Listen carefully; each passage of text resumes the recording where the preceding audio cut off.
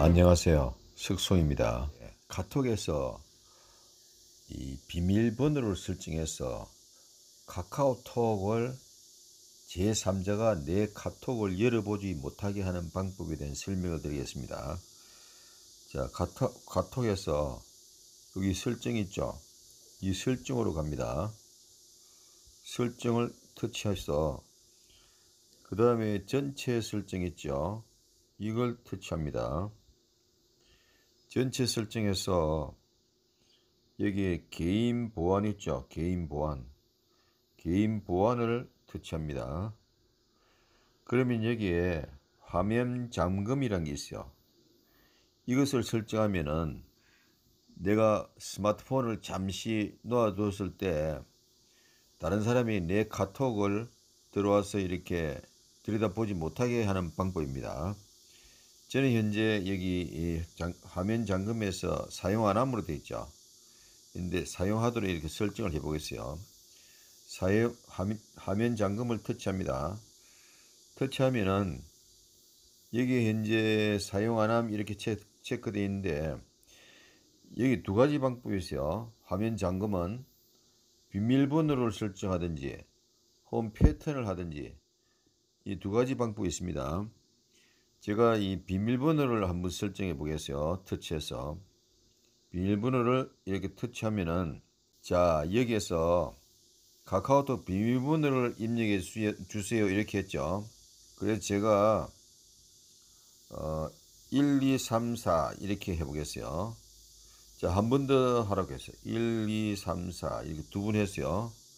자, 그러면 비밀번호가 1, 2, 3, 4로 설정이 되었습니다.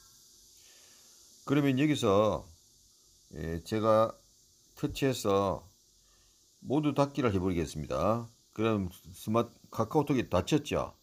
그러면 다시 여기 카카오톡 하단에 여기 보면 카카오톡이 있죠. 카카오톡이 여기 있는데 이것을 터치해서 들어가 보겠습니다. 터치하면은 이렇게 카카오톡 들어가려면은 비밀번호를 넣으라고 합니다. 카카오톡에. 그래서 아까 제가 설정한 1, 2, 3, 4 이렇게 집어넣으면은 이렇게 바로 들어가집니다. 자, 그래서 다시 패턴으로 설정하는 방법은 여기 설정으로 가서 터치해서 전체 설정으로 갑니다. 전체 설정으로 가서 자, 여기에 개인 보안이란 게 있죠. 이리로 갑니다. 이리로 가서 아까 이 화면 잠금 있죠. 아까 비밀번호로 설정했죠. 이것을 터치합니다.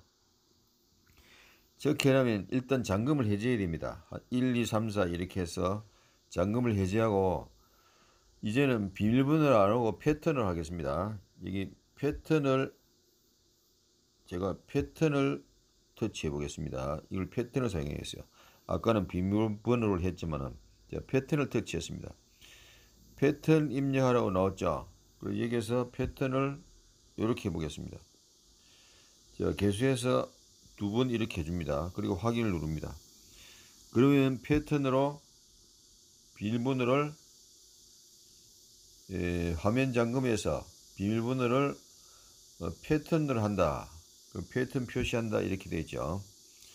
자, 이것은 여기에서 예, 카톡을 닫고 다시 카톡으로 들어갑니다. 카톡으로 들어가면은 이렇게 잠금 해제 패턴을 입력해 주세요 했죠. 그래서 아까 패턴 한 것을 이렇게 설정합니다. 그럼이 들어왔죠. 그럼 이 잠금을 다시 해제하는 방법은 여기 설정으로 다시 갑니다. 설정으로 가서 전체 설정에서 전체 설정으로 갑니다. 그래서 예, 아까 개인 보안 여기서 했죠.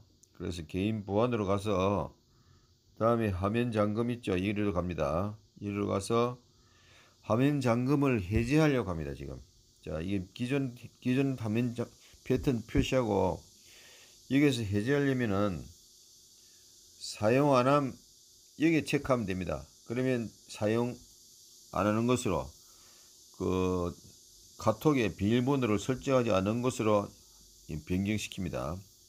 자, 이렇게 터치했어요. 그래서 현재 지금 사, 잠금 화면에서 사용 안 함으로 됐죠. 이렇게 하면 비밀번호 나 홈 패턴을 해제할 수 있습니다. 그리고 나갑니다.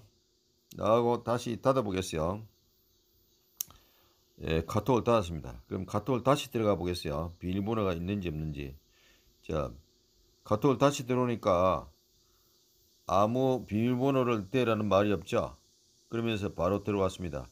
이와 같이 카톡에 비밀번호를 어, 잠금 화면을 설정해서 어, 타인에게 이, 이 카톡 이용을 함부로 단, 다른 사람이 접근하지 못하도록 막을 수 있습니다. 그리고 해제하는 방법, 설정하는 방법 잘 익혀서 사용하면 편리할 것입니다.